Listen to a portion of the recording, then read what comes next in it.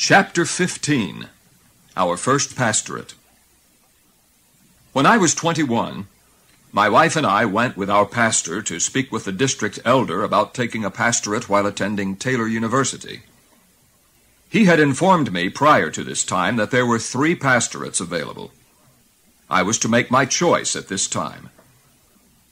As I listened to my elder describe the opportunities, I was trusting Jesus to help me know which one to choose. You may have this one particular pastorate, he explained, which is close to Taylor University and pays $800 a year. This other one is farther away and has two parsonages. You may rent one and have a little more income. It also pays $800. He paused as if waiting for my answer, and I said, Sir, you told me that there would be a choice of three pastorates. A bit reluctantly, he replied, The third one is Redkey Circuit. It pays only $700 a year. The moment he said Redkey Circuit, I knew that was where God wanted us. I could tell in my heart. Redkey Circuit is where we are to be, I informed him. This man was many years my senior and had preached for a long while. But when I told him my decision, he asked, Why didn't you choose this pastorate near Taylor University? It is much more convenient and pays a $100 more a year. Of course, $100 was a sizable sum at that time.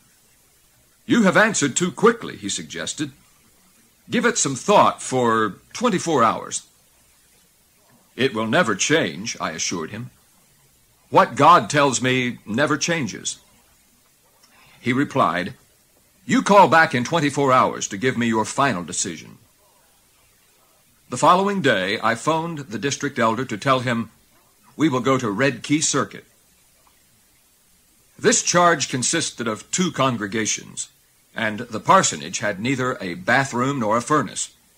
In terms of human comfort and strength of membership, it could have been considered one of the least desirable pastorates of the district, if not the least.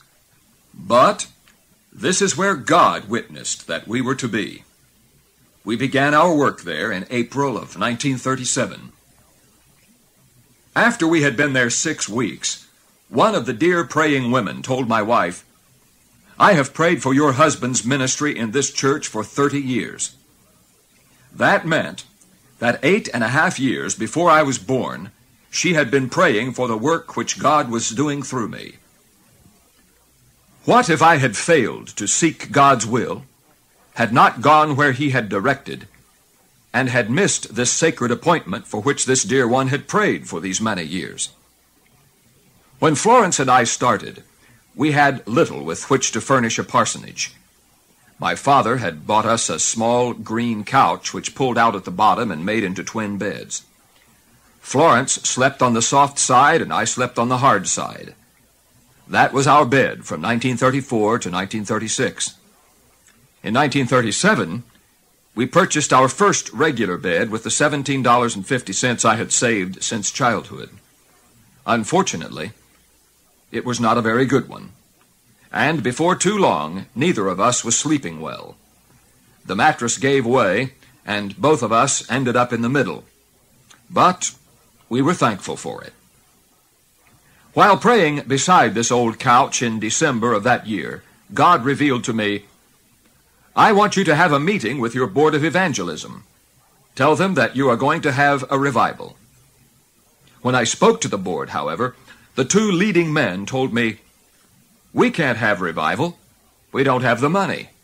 We couldn't raise ten dollars from the entire congregation. I hadn't thought of that.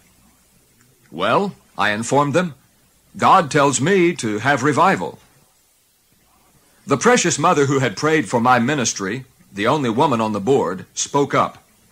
Reverend Helm is right. God wants revival. The other two men expressed themselves by saying, we're on the fence, meaning I could have revival if I wanted, and if I didn't, that was all right too. Returning home, I went to prayer. I was only 21, in my first assignment as pastor. I didn't want to do anything that I shouldn't. My board of evangelism was not in agreement. One thought we should have revival, two were definitely opposed, and two were undecided. Jesus, I prayed, what will I do? As I sought the Lord's guidance, He clearly directed me to call an evangelist in Richmond, Indiana. I was to ask him to arrive early Sunday morning for prayer, after which he could preach for me as guest speaker. Jesus said, You leave it all to me, which I did. Early Sunday morning, the evangelist and I had a little prayer meeting before he preached. When the altar call was given, down the aisle came Arthur and Mrs. Brown. They prayed through, were converted, and the entire congregation agreed this is revival. Less than one year later, Mrs. Brown lay in her casket. How important God's guidance for revival was to this precious soul. Those special services lasted three weeks, the Lord guiding and helping. Forty-five were saved or sanctified, and bodies were healed. God did miracles among us. My wife still recalls that as one of the most wonderful revivals she has ever been in. We had 25 to 28 in Sunday school at that time. When the power fell on that small congregation, the attendance soon doubled and continued to increase. Jesus had told me, You leave it all to me. He was the one who performed it. At this young beginning, I did not believe in divine healing. The evangelist, on the other hand, declared, God heals today just like he always did. Is that right? I remarked. I had heard about my father being healed when he was a boy. But I was still a young man and had no experience with healing. God is still the same, the evangelist assured me. That's wonderful, I told him. When he shared that God still healed as he did in Bible times, I began to believe him. As it happened, one of the women in our congregation, Edna C., had been in a very serious accident and suffered severe pain almost constantly. Because of a fractured pelvis and some fractured vertebra, she had to be turned in a sheet for three weeks. The evangelist learned of it and said to me one day, Let's go out to the home of these folks and have a little meeting. We'll anoint this woman with oil and ask God to heal her. It will stir the countryside for Jesus. When I asked Edna for her permission to come, she gladly consented. About a dozen of my laymen accompanied us there that day.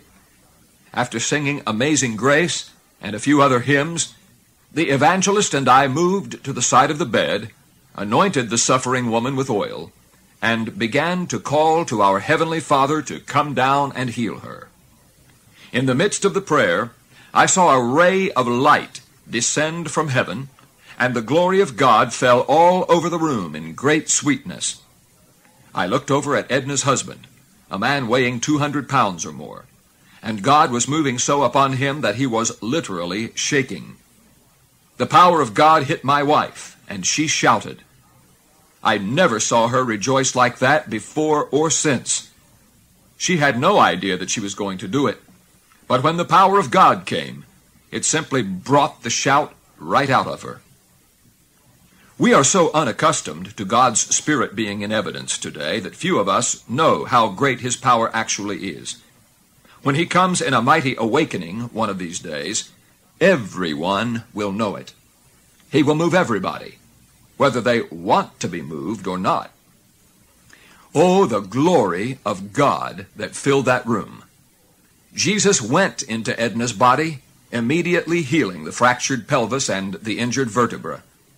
In an instant, God performed a miracle. When we all left, her elderly aunt came into the room. Will you please get my clothes? Edna asked her. Oh, Edna, she cautioned, you are a sick woman. You wouldn't want to try getting up. You mean I was sick, Edna told her. Please go get my clothes because I am going to get dressed and come help you prepare the evening meal. Oh, child, you aren't well. You are sick.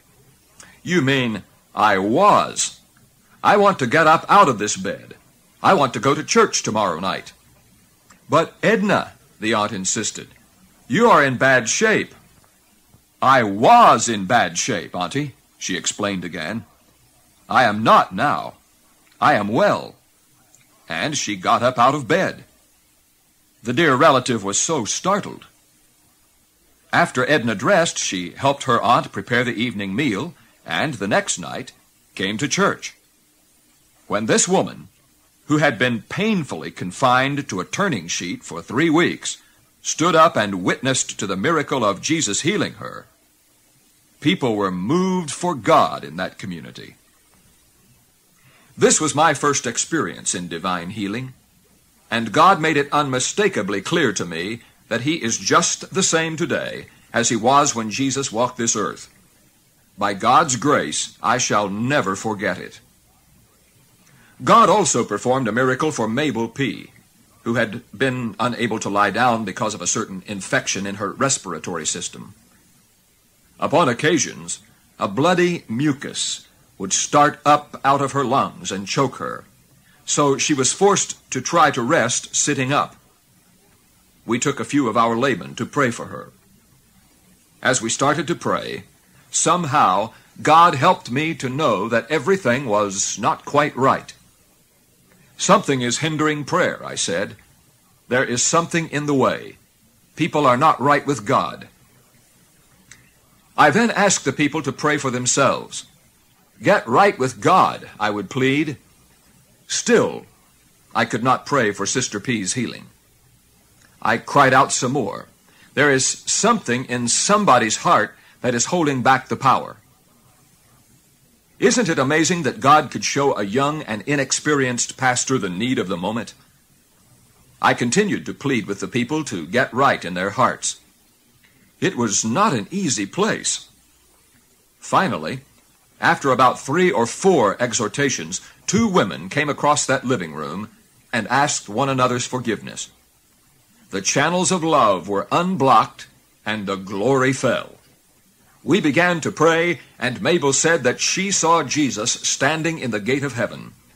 As we were interceding for her, she saw Jesus reach his hand down from heaven, put it on her head, and heal her. But as soon as she was healed, this thick, bloody mucus began to flow out of her mouth. Quickly, we had to get a container. All my people were alarmed. I could see by their faces that they doubted. Have faith, I encouraged them. This is the unclean coming out. It was a terrible sight. I have never seen such a substance pouring out of a person's mouth and throat. Don't disbelieve, I kept telling them. Just have faith and say, Thank you, Jesus. Why, who told me that? What made me so certain that this was of God when the older people were fearful that she wasn't healed? It had to be Jesus helping me, I know. When she visited the doctor for x-rays, he said, This is wonderful. All that infection is gone from your lungs. Jesus had healed her for his glory. These are but a few of the marvelous things we would have missed in our first pastorate if we had made our own choice rather than God's choice. My district elder had been thinking of my finances when he recommended the better paying positions. But look at the power of God which was able to operate once we arrived where God ordained us to be. And the Holy Ghost is moving through my body now as I share this with you. This was only the beginning of what God was going to accomplish for His glory, because it was His beginning and not mine.